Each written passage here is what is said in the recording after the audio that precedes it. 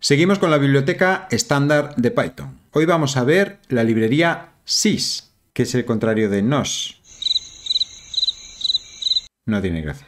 Perdón. Este módulo sirve para manejar parámetros y funciones específicos del sistema. Recordad que en la descripción del vídeo tenéis enlace a la documentación oficial. Como ya dije en el anterior vídeo, vamos a ver solo los que yo considero más útiles. Si queréis ampliar la información, no dejéis de visitar ese enlace. Pero antes de empezar, quiero recordaros que en la descripción del vídeo tenéis el enlace a mis canales de Telegram, donde cada día publico los mejores descuentos de tiendas como Amazon y AliExpress, entre otras. Pero es que además, si no disponéis de Telegram, ahora también podéis consultarlas en Facebook y Twitter. Ya no hay excusas para no ahorrar en tus compras online.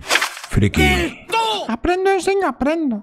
Bien, como os decía, hoy vamos a ver la librería sys de la biblioteca estándar de Python. Para ello primero vamos a entrar en el intérprete interactivo lo primero que vamos a hacer es importar la librería y el primer método que vamos a ver de la librería es exit, que esto como veis me ha sacado del intérprete interactivo de Python. Realmente es muy similar que si escribiéramos exit sin más. Pero debéis saber que es más recomendable usar sysexit que exit. Si comprobáis la documentación oficial, veréis que esto es debido a que sysexit permite el manejo de excepciones. A sysexit se le puede pasar un argumento. Lo más habitual es indicar un número entero, y esto se usa para indicar que, por ejemplo, si ponemos 0, el programa ha finalizado correctamente, sin que se haya producido ningún error. Si es un valor distinto de 0, sea cual sea, se entiende que hubo algún error. Lo más habitual es 0 para indicar que ha terminado correctamente y 1 o menos 1 para indicar que no. Además también podemos indicar un texto, por ejemplo, error en la ejecución. Ese texto se mostrará justo antes de finalizar el programa. Además, indicamos algún texto, se entiende que hubo algún error. El siguiente método que vamos a ver es realmente un atributo y se llama executable. Esto como veis nos devuelve la ruta completa del ejecutable de Python. Debéis saber que dentro de un ordenador podríamos tener instalado por ejemplo la versión 2 de Python o cualquiera de la versión 3 de Python. Entonces desde dentro de un programa podríamos tener acceso al archivo que ha ejecutado ese programa, lo cual en determinadas circunstancias puede ser muy útil. Y por último, lo que vamos a ver y que quizá no sea más útil es el atributo sysargv.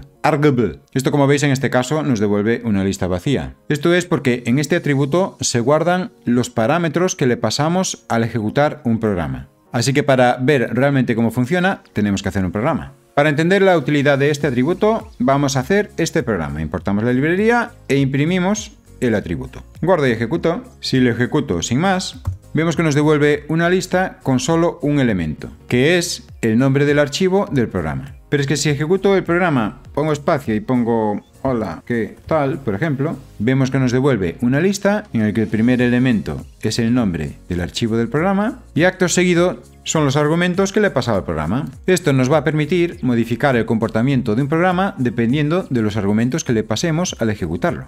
Pero para entenderlo mejor, vamos a ver el siguiente ejemplo de programa. Fijaos, primero y como no, importamos la librería. Creamos una función que recibirá dos números y devuelve la suma. A continuación, y como recordaréis de cuando dimos la clase de importar funciones, ponemos un if de que si name es main, es decir, si el programa lo estamos ejecutando directamente, que ejecute este bloque de código. Esto, como recordaréis, lo hacemos para poder reutilizar el código de este programa en otros programas, de tal forma que si importamos esta función, no se ejecute este código. Esto de hecho os recomiendo que lo pongáis siempre en todos los programas que hagáis, ¿vale?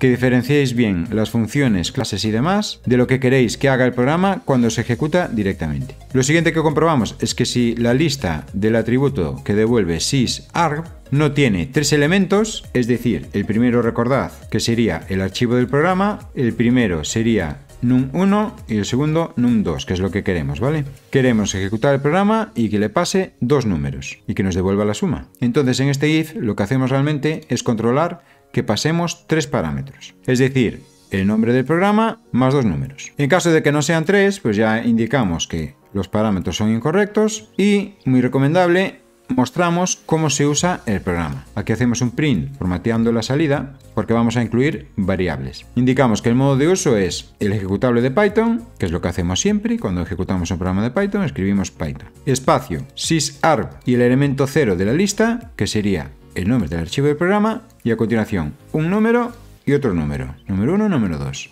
Y por si esto no queda claro, pues imprimimos también un ejemplo, que sería lo mismo que aquí y un ejemplo de números 4 y 8, por ejemplo. Y a continuación hacemos un sysexit para que se salga del programa ya en este punto, que no continúe. Y entre paréntesis indicamos 1 porque realmente hubo un error. El usuario no introdujo los parámetros que correspondían. En caso de que sí que haya tres parámetros, entraría por el else y lo primero que hacemos es guardar el primer argumento del número como un entero. Tenemos que tener claro que, al igual que cuando introducimos datos con un input, el resultado va a ser siempre un string. Entonces, aunque introduzcamos números, van a ser string. Entonces necesitamos pasarlo a un formato numérico, en este caso entero. ¿Por qué? Porque después vamos a sumarlos. Necesitamos hacer operaciones aritméticas con ellos. Entonces lo metemos en un try.